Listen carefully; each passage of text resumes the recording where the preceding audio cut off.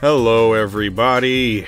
Jim here, coming to you again from my apartment here in Tokyo on uh, this fine sunny afternoon, but it's very windy though.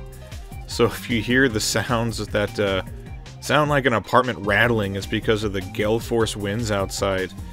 Don't know what that's about, but I'm sitting here uh, sipping some coffee, gearing up for uh, the coming Golden Week, which normally would be a pretty good time, but uh, we are dealing with yet another state of emergency here, so uh, lots of stuff. Uh, probably going to be shut down, so I'm not sure exactly what I'm going to do with my Golden Week. Uh, probably play a lot of video games and uh, work on some videos. You know, the usual kind of thing I do when I'm at home.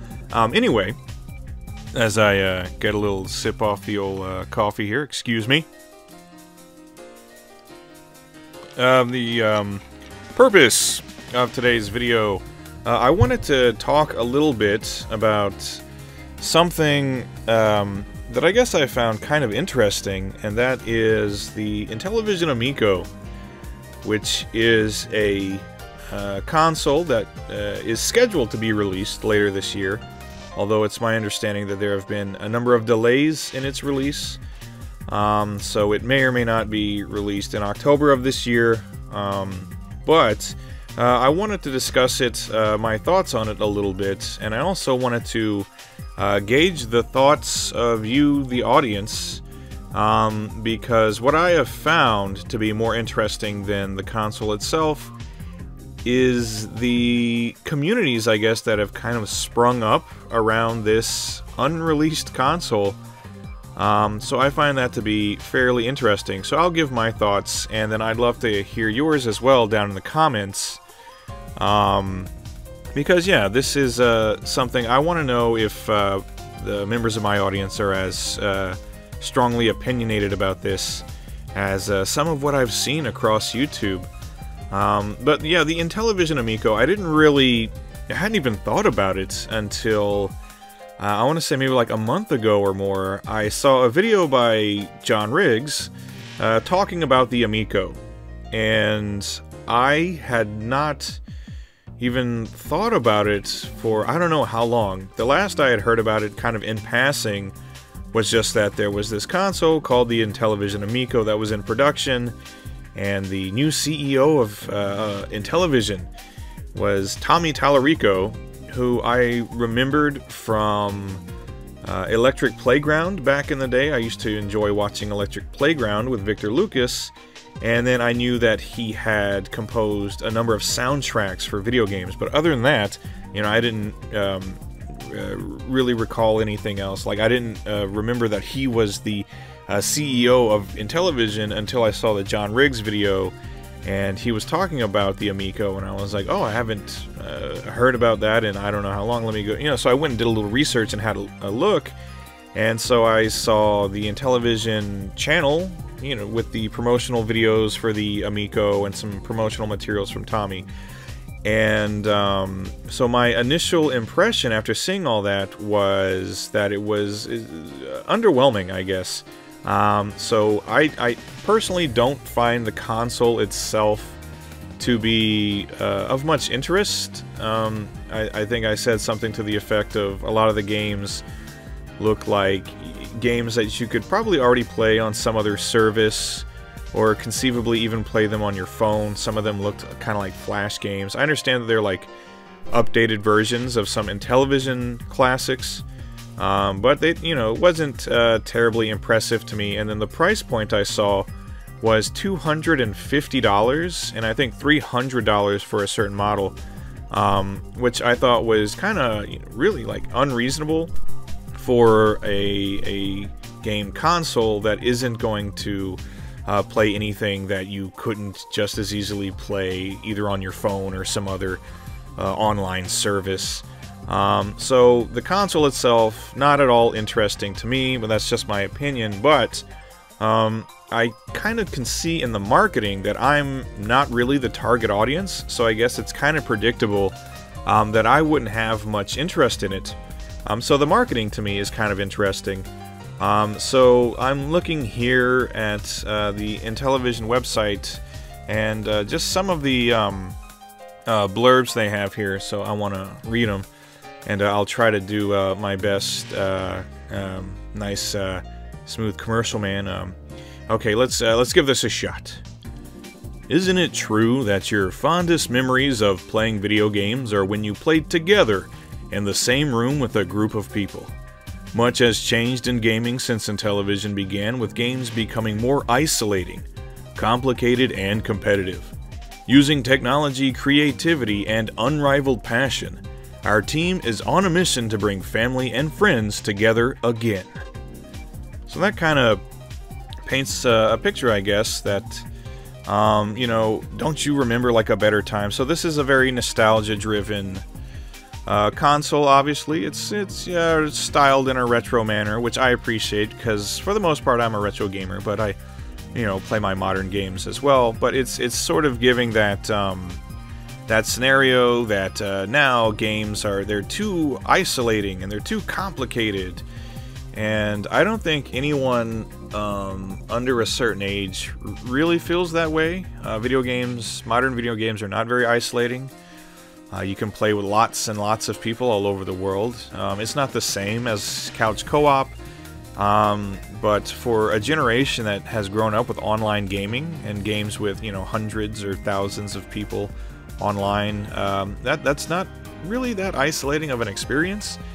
Um, and then you know a number of those games you can play together as well. Uh, just recently, I think. I was at it was either a Christmas party last year or the New Year's uh, party but we were all sat around with a, a Switch, I think, and we were playing Bomberman and Mario Kart. So there was still couch co-op, but you know you could play online too. Um, but yeah, it, it's given you that image that you know modern games too complicated, too isolating.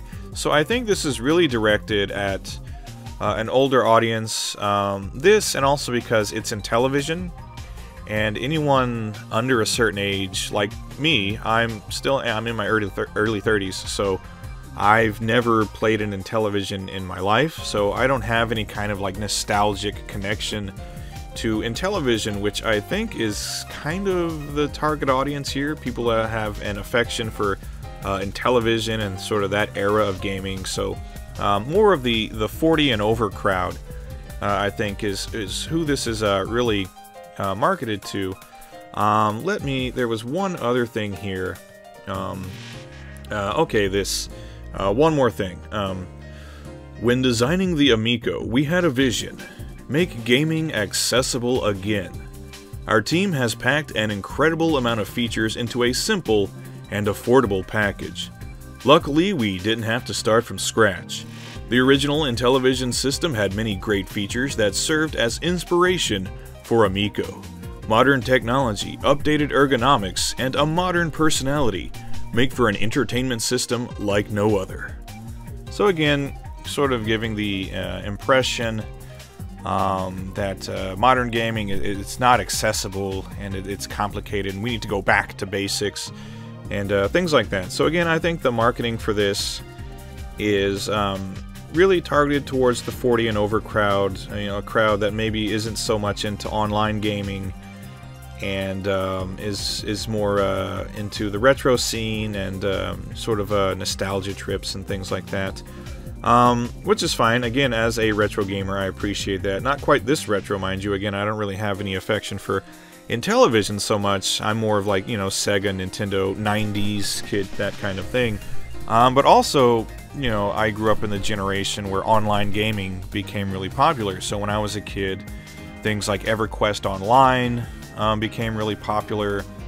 Uh, Phantasy Star Online and some of the online stuff you could do with the Dreamcast, and then later the, the PS2, and then World of Warcraft and stuff. So, um, you know, people my age and younger um, are, you know, familiar and comfortable with online gaming. And uh, it's, you know, we don't find it to be terribly complicated or uh, or isolating. So um, the Amico, uh, I get this uh, impression then that it, I'm not, you know, their target audience, which makes sense. I'm not interested in the console, and the games don't look. Again, they don't look very impressive at all. It, you know, looks like uh, games you could play on your phone. Like, you know, these are some, you know, classic titles. I guess they're inspired by things like uh, Moon Patrol and and Missile Command and um, you know other various games like that. But uh, again, uh, when you can conceivably just play these on your Switch or download them on your PS4 or if you have like Steam or uh, yeah, some of these uh, they look like games you get in the Google Play Store. Um, so not impressive to me, but that is just a you know very subjective opinion. Um, so, but uh, like I said, more interesting to me than the Amico itself are people's reactions to it. Um, so, when I was looking for uh, videos about the Amico, I not only found the Intellivision channel and all their promotional materials, um, I saw that there were a lot of channels talking about the Amico, and there wasn't, it seemed like it was to one extreme or the other. It seemed like there was a camp of uh, channels where you know the the Amico has not been released, but they are very excited and anticipating it. Um, they're doing reaction videos, they're doing discussion videos, they're just talking about Amico, Amico, Amico. Um, they are very, very excited for the console. And again, uh, to go along with the marketing, a lot of what I saw was they it, it, would, it appeared to be the 40 and over crowd um, who have uh, a nostalgic affection for the Intellivision brand. They are retro gamers, so to them, looking at the Amico, it looks pretty cool. Um, so they're you know very excited about it, but it wasn't like marginal excitement. It was like full on passionate. Oh my God, this is gonna be the best thing ever. Um, very like 100% on the optimistic range. Um, you know, this is going to be fantastic, amazing. Um, and on the other end, which I found um, equally maybe kind of baffling, because again, it's a it's a console that is not released yet. Um, I think there have been some demonstrations where people have had some hands-on with it, but for the most part, the channels I'm watching, I'm under the impression that they themselves have not yet played the Amico. They have not put their hands on it, so they don't really know what their actual impression of it might be. If they played it, they're just going by what they've seen uh, in videos, um, which, fair enough, those videos are meant to advertise and get people excited about the console. So these are people that are really excited about it. And then on the other end, I found videos were, that were just extreme skepticism and extremely um, negative. Again, you know, from people who presumably haven't really had any kind of interaction with the console. Um, but saying, you know, basically saying that, like, taking my opinion, but going, like, much, much further with it. Like I said, I'm not interested in it. The games don't look terribly, um, you know, compelling to me. Um, but some people taking that and running with it like they look like absolute dog shit, and no one's ever going to want to play this, and this is crap. And some people even going as far as to say it's a scam. You know, Tommy Tallarico is just trying to rip people off. He's he's going to take the money and run. He's going to shit out the Amico. Uh, it's gonna flop, and then he'll he'll you know he'll have made a quick buck, and then all his investors will be pissed, and he won't care, and blah blah blah blah blah. Um, so really, two opposite extremes when it comes to reactions that I've seen to the Amico. People 100% behind it, certain it's going to be like the best thing since sliced bread, and then people 100% opposed to it. They hate it and they think it's just like an outright scam. Um, and so that to me is more interesting than the console itself because while I'm not interested particularly in the Amico or its games, it seems like fairly uh, innocuous. It's just, you know, a little console that maybe if you're nostalgic for Intellivision or something, you buy it and you play some games and whatever. Um, it doesn't seem to me like something that would really draw those kinds of extreme negative or positive reactions out of people. Um, so that that's the thing that to me has been more interesting than, than the console itself, is how I've seen some people react to it. I understand that um, it's sort of I've seen some a, a, little bit about how it's marketed as like a console for the family and to play with your kids and things like that. Um, I I don't think though that that's really like realistic. I think it's again it's a console for the 40 and over crowd or nostalgic for television, and if they have kids, it's kind of hard for me to imagine, like, maybe like a 10 year old kid being too terribly interested in the Amico. They're probably going to want, like, PlayStation or, or something like that. I can imagine when I was a kid, maybe, I don't know, maybe like between the ages of like 10 and 13, like, if you would have said, you know, if Amico existed then, if you came to me and said, would you like this or would you like a PlayStation 2? I would have been like, obviously a PlayStation 2. Um, so I don't really think there would be like, um, much of a market for it for kids because you know kids want you know the new console that everybody wants. I want the Nintendo or the PlayStation or whatever. Um, and the Amico is more for uh, I guess maybe mom and dad who you know really have fond memories of Intellivision and stuff. Um, so again, that's sort of just like my two cents on the console itself. I'm not terribly interested in it, but I don't think I'm the target audience. Um, but more interesting than the console itself are the reactions the polar opposite reactions. I haven't seen a whole lot of uh, video content of people going, "Eh, I'm middle of the road. I uh, I don't have much of an opinion on this." So um, that's why I'd like to hear from from uh, the audience in the comments. What do you think of uh, the Intellivision Amico, and uh, what do you think of sort of the um, polarizing reactions to it? Uh, I'd be interested to hear about that kind of stuff. And I've been rambling on for quite long enough now. I want to get back to my coffee and uh, maybe play a video game or two. I actually think I'm going to play Skull Monkeys today. For some reason, I just got a hankering for Skull Monkeys. Uh, anyway, everybody, thanks for listening. Uh, again, be sure to let me know what you think down in the comments. And I will see you on the next one. Take care, everybody. Goodbye.